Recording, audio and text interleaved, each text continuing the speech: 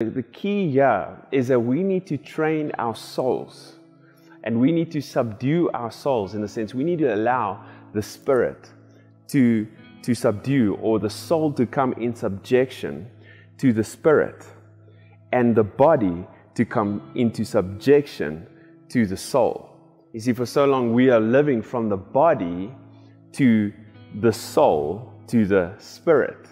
And instead, the way that God has designed us is to live from the spirit to the soul to the body.